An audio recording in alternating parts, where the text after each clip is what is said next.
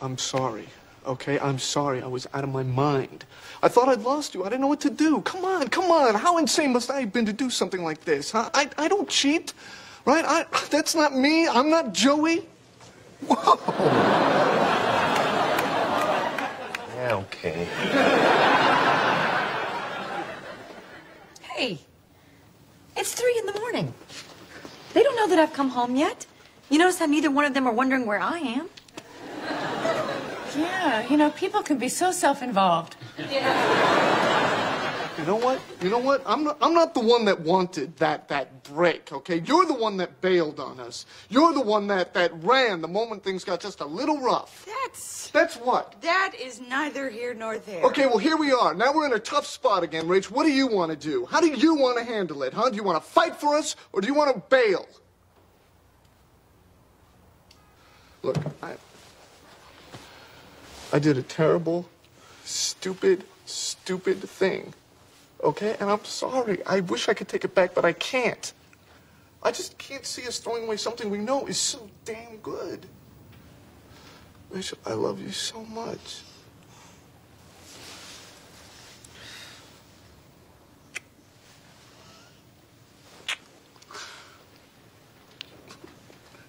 No, Ross, don't. You can't just kiss me and think you're gonna make it all go away. Okay? It doesn't work that way. It doesn't just make it better. Okay? Okay, okay. okay.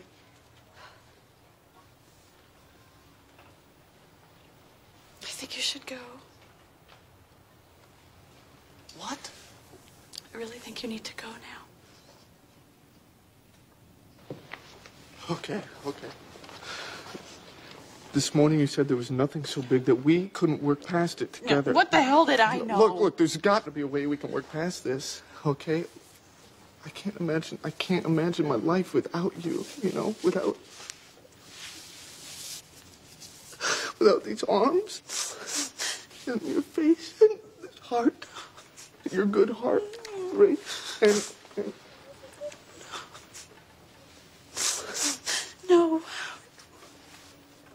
I can't. You're a totally different person to me now. I used to think of you as somebody that would never, ever hurt me. Ever.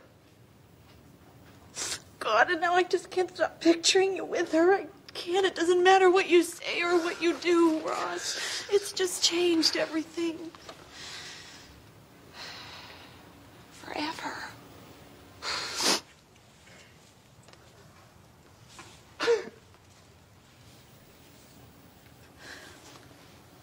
But this can't be it. I mean,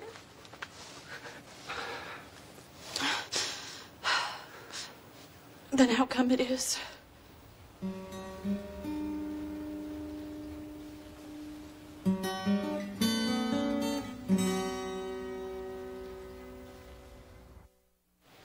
They've been quiet for a long time. Maybe she killed him.